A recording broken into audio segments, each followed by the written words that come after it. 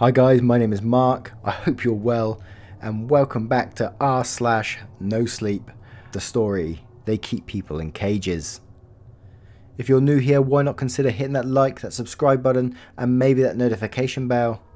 And with that being said, let's get into the rest of the story. Much love guys. Part 3. So, Lisa is still missing. The place is still in lockdown and I haven't been allowed to leave. They're afraid of getting her out, I guess. Besides the whole not aging thing and her taste in movies, Lisa has always struck me as the least harmful of the bunch. So I'm pretty worried considering how much they're freaking out about her possible breach. Even Fres didn't evoke so much panic at the higher ups. Good news is, I have some free time to write out all of this. Besides Lisa being missing, I've still been going about the normal routine. Feeding, removing bones from Bill's cage, cleaning up after Fred's feedings. Speaking of which, the new Fred is a particularly messy eater, or would it be drinker, considering I'm giving him blood. Cassie seems particularly aggressive since Lisa's disappearance. She tried more than once to bite me. The one that's been worrying has been Bill.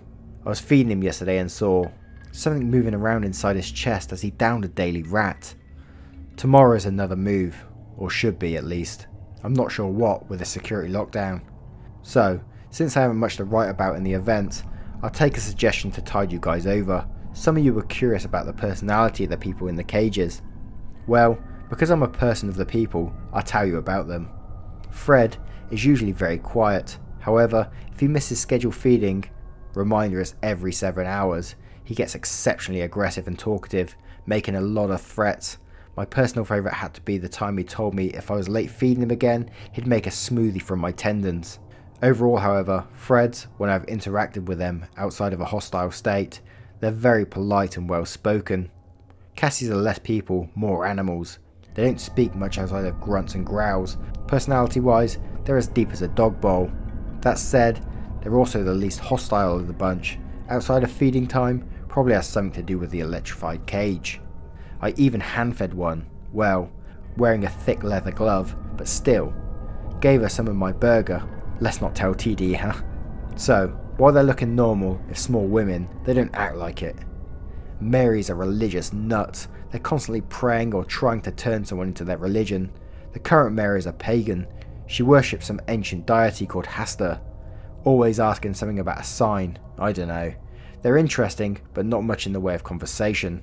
I tune them out most of the time. Bobs are a mixed, as is to be expected, most are very prone to conversation. Typically it's the water cooler talk, you know, what happened at the game, or what happened on Game of Thrones, back when it was still coming on. I actually chat with them during my coffee breaks, they're pretty nice guys you know. Ignoring the eye thing. But don't let that fool you, they've tried strangling me a few times, that's why I have the stun gun. Earl is Earl, not much to say, he always has his nose buried in the newspaper, so he doesn't talk much. Chads can't speak due to the whole black substance from every orifice when they speak issue. Before she went missing, Lisa was your typical 6 year old as far as personality is concerned. She even had an imaginary friend. She called him Mr. ABBA. Her bear she called Bezel. Interesting names, but hey, she's a weird kid. Or at least, she's a strange whatever she is. I have no opinion on Bill, as he's still rather new. Oh shit, TD is getting us all together for some kind of meeting. I'll update later. Update. Okay, so TD gave us the rundown.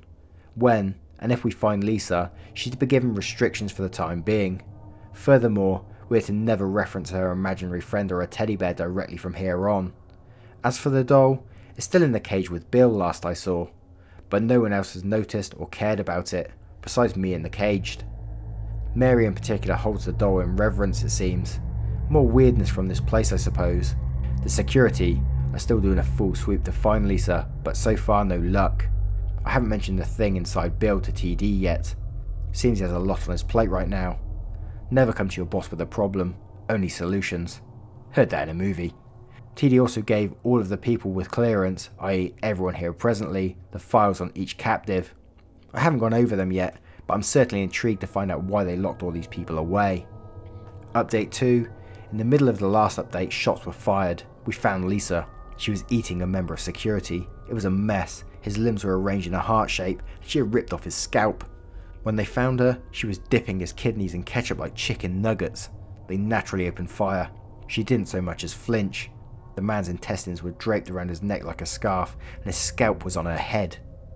I nearly vomited when I saw it. I'm a bit fuzzy on the details, but somehow we managed to secure her and place her back into her cell. So that's what she eats, it turns out. The doll was in a cage when she was put back. I didn't mention it to anyone, but the doll, which I told you had cat paws in place of his hands, well, one hand was now a human one, with a tattoo distinctly similar to the poor bastard Lisa was just eating. I'm going to read those files. I'm done not knowing what I'm dealing with.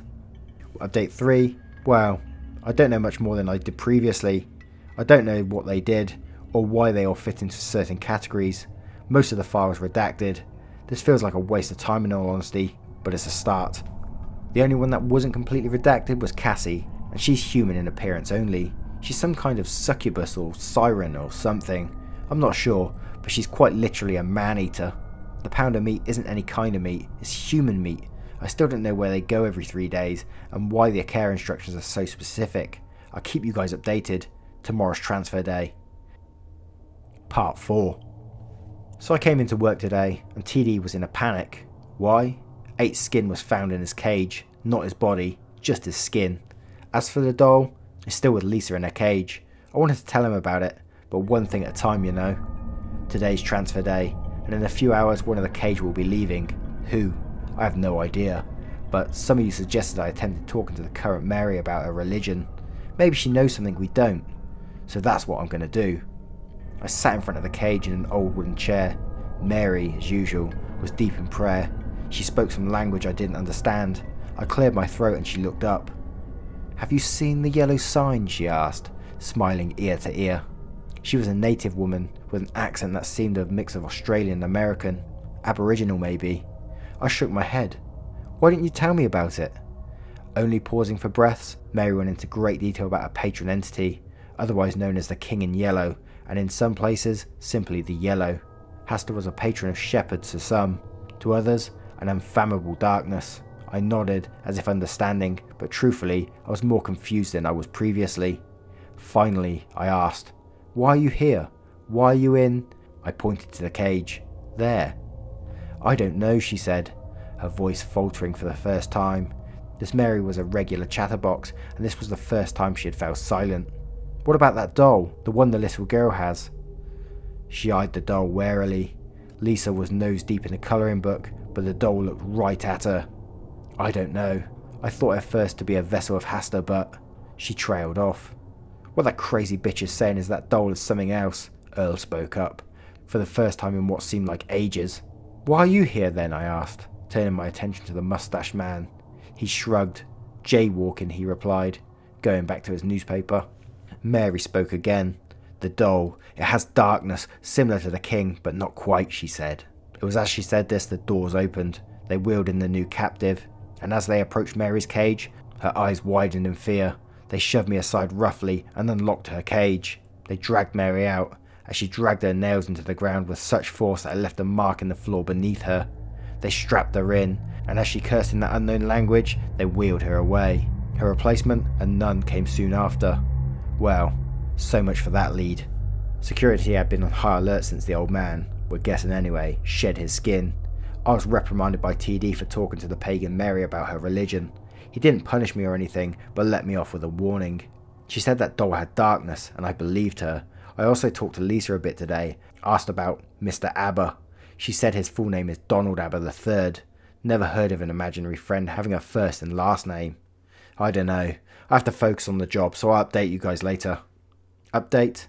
So I told TD about Lisa's doll. What she said worries me. A lot. He said he didn't see any doll. That's unnerving, so not only is there the possibility of a sentient doll, but now I'm the only one who can see it besides the caged. I've conducted interviews with the rest of the cage since Mary's transfer, besides Cassie and Chad, because well, they can't really speak. Fred was first up, he said he was there for simply being him.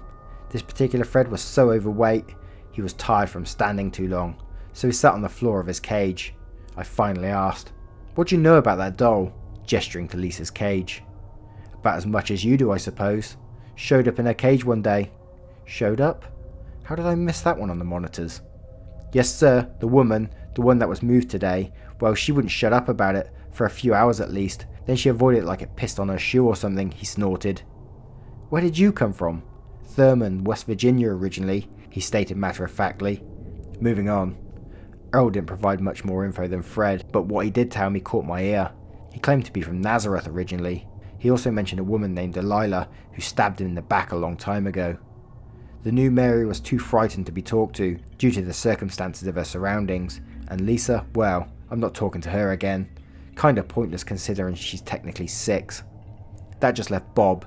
Bob is still claiming to be an investment banker from New York, didn't provide much information on the doll, so I changed the subject. What's with the coins? Oh, these. He pointed to his bloodied sockets. They're my lucky coins. Mm-hmm. Yep, whatever you say, Bob. I returned to my office and poured a cup of coffee. I nearly had a heart attack when I turned around and saw that fucking doll sitting on my desk. It was not there when I came in. Pinned to his chest was a note scribbled in crayon. It read simply, look up. I don't know why I followed this instruction. On the ceiling, looking down at me was... me. The person was duct taped to the ceiling, his eyes were gouged out, and carved into his forehead was another message. Stop. I blinked, and the corpse and the doll were gone, I ran to the monitors and saw the doll back in Lisa's cage, looking directly at the camera. I'm starting to think this isn't worth $500 a day. Part 5 Sorry about the wait, been busy a few days since Bill slipped out of his skin. Speaking of which, it's still undetermined whether or not Bill could be considered the same being as whatever crawled out of his skin. Some of you suggested I tell TD, and I very much intend to. Just have other things to deal with. Also, there were no transfers today, which is weird considering it happened every three days for at least a decade. I've been having trouble sleeping. Every time I shut my eyes, I see that fucking doll. I've seen it around my house, which was worrying to say the least. I've done more interviews with the inmates. So, as I can put it together, here's what I've gathered about who or what these people are. Fred was born, according to him, around 1836. He also claims to have committed several murders since the 1880s, several victims, including two in the December of 1968. He cites those as his favourites. He's nearly 200 years old, by his own count. Mary claims to be a nun, a woman of the cloth. She said she was born in 1883 and did what she did for the Lord. Apparently she had convert the wealthy in order for them to give their money to the church. She also said she's no Catholic, but a Greek Orthodox. Chad, I gave a notebook to communicate with. Why are you here? Chad wrote, troubles with women. We've all been there. I followed up by asking, Where were you born? What year? His response, I was born in Burlington, Vermont, 1946. He certainly didn't look that old. I thanked him for his time, gave him his green liquid, and moved on. Finally, we have little Lisa. Lisa insistently claims she was born in 1681 in Massachusetts. She also said she misses her cousin Betty. That's all I got out of her, before she returned to a colouring book. It doesn't phase me that she's easily the oldest of the bunch. Hold on a second, I saw something in the camera. It's much bigger than the cages. Maybe 7 feet tall. Completely devoid of hair or pigment. What caught my eye, however, was the oxygen tank on its back. I'm looking at number 8. I quickly pressed the alarm button and looked back up at the camera. Its face was right in the camera, and it was definitely the face of Bill, grinning ear to rotting ear. Even in the camera, I could tell how decayed his teeth were. The feed cut out, and then the power. A couple of seconds later the feed turned back on, but the lights didn't. I'm guessing that was an extra security measure. I grabbed the weapon at my station, locked the door, grabbed my security walkie-talkie and waited, weapon aimed at the door. Had to be four, maybe five hours before TD entered the room. The security team did show up, two hours ago in fact, but they had vanished without a trace. Missing? What do you mean, I said, feeling sleep deprived even though I had plenty of sleep. They arrived on site and didn't check back in. Sighing, I scratched the back of my head. I had it with this secrecy shit. What are we keeping here? I finally asked, as TD studied the monitors.